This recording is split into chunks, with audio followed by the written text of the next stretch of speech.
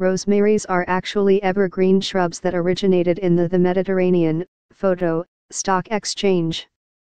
Garden centers, big box retailers, and even grocery stores are filling up with holiday plants, and the ones I'm drawn to are rosemaries shaped into classic topiary forms and cone-shaped Christmas trees. Rosemaries are actually evergreen shrubs that originated in the rocky sites and scrub of the Mediterranean region. They grow wild in the south of France where the winters are cold, damp and very windy and the summers are hot and dry.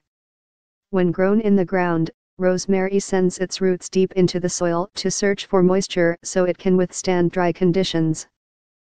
But when grown in a pot, the plant soon becomes pot bound and the roots suck up the moisture so quickly the fast draining soil dries out. Unfortunately, the rosemary does not make a good houseplant for those of us who live in Michigan, but here are some tips I use to keep them alive until spring when they can go out in the garden.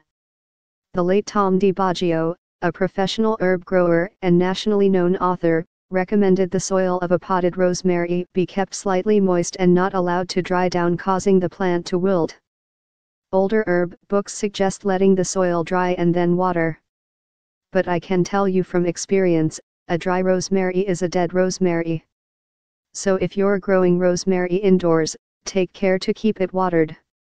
Rosemary is a sun lover and outdoors it needs at least 6 to 8 hours of full sun daily to thrive. In winter, Michigan can go weeks without seeing the sun, so even when these plants are placed in south-facing windows they can struggle.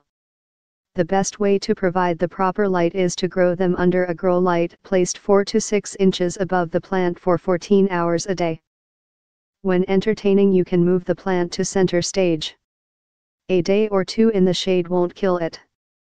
Humidity is another big issue when the furnace goes on the humidity in a house may drop to below desert levels. Misting is not the answer. Better to place the rosemary on a large tray filled with pebbles and water.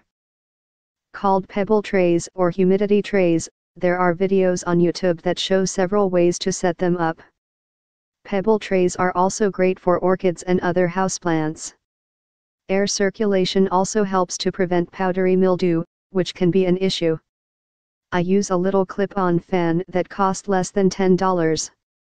Nancy Szerlag is a master gardener and Metro Detroit freelance writer. Her column appears Fridays in Homestyle. To ask her a question go to yardener.com and click on Ask Nancy. You can also read her previous columns at detroitnews.com/homestyle.